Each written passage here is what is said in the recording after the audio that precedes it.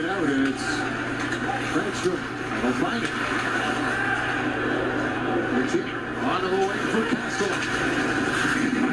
Front, and then he's running towards by Xhekaj. And a penalty coming up here. And now Kastelic in a little hole with Xhekaj. Gets a few extra shots in before he to the box. So the Ottawa Senators will get their first chance on the power play tonight when we return in a scoreless game so far in Scotiabank Wednesday Night Hockey.